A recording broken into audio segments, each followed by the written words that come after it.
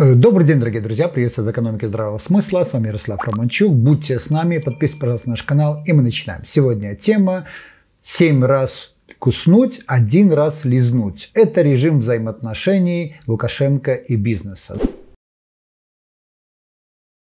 Лукашенко в очередной раз э, вроде бы выступил на защиту бизнеса, сказав, что вы комитету госконтроля и всем контролирующим организациям, нам не нужны штрафы, нам нужна эффективная, качественная работа предприятий. Мол, до него дошло, что кошмарят бизнес, загоняют под плинтус, щипывают как гусей.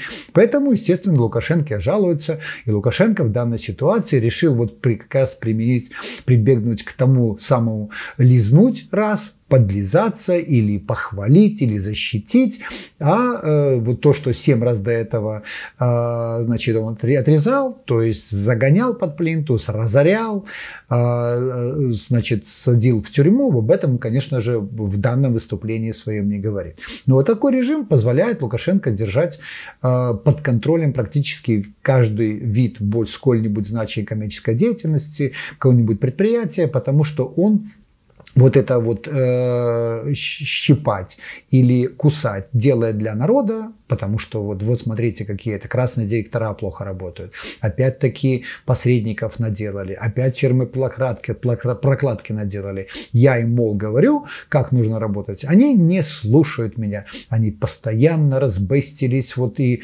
злоупотребляют, и очко втирают. Все виноваты, кроме Лукашенко.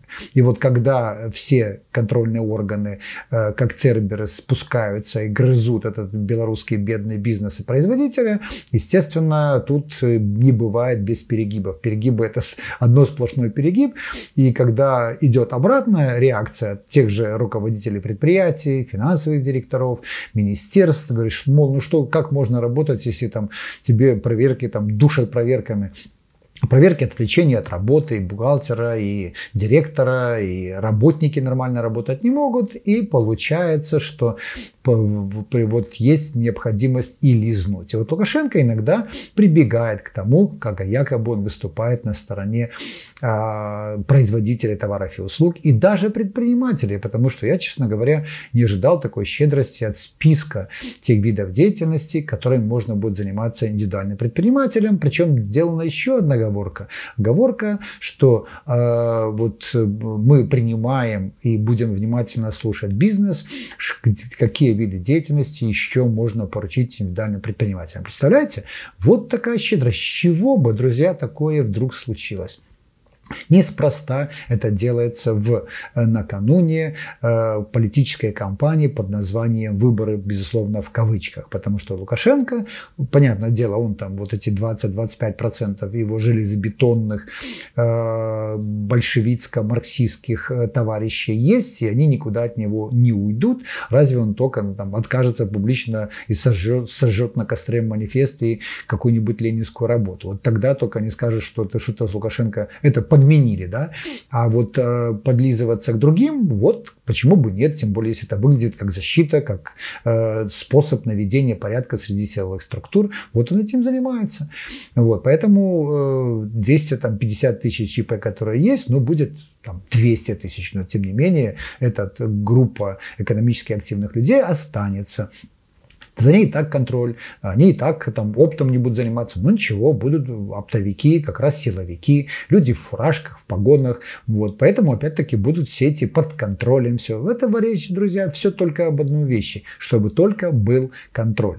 Поэтому Лукашенко, когда вот он э, кнут и пряник использует, да, конечно же, кнут используется гораздо чаще и гораздо масштабнее, ну а пряники раздаются тогда, когда нужно вот сделать вид, что царь-то справедливый, что вот он же не только говорит загинать под плинтус и разорять, да, а говорит также защищать от тех нерадивых или ретивых контролеров, которые, собственно, этим э, злоупотребляют. Является ли это адекватной мотивацией в сегодняшнее время и будет ли в Беларуси вот от такого, от такой защиты благоприятный инвестиционный климат? Конечно же нет. Лукашенко сегодня сказал, нужно защищать и не проверять, а завтра сказать, а чего вы не проверяете? И вот он так постоянно работает. Я помню, когда было 2-3 года, когда не было проверок, это было такое, знаете, очень благоприятное время для бизнеса, потому что они знали, что нельзя проверять. Всем точно нельзя было. Хотя там, ну, понятное дело, отдельные были, но Э, вот так, только такой режим может действовать. Но Лукашенко даже в такой ситуации не может так лизнуть бизнес, чтобы приказать запретить проверки. Поэтому, друзья, бизнес щемили, бизнес щемит, и бизнес вертикаль власти от имени ЗАО «Семья» будут щемить. Спасибо большое за внимание, ваше внимание экономики здравого смысла. Будьте с нами, подписывайтесь, пожалуйста, на наш канал. Живя Беларусь! Слава Украине!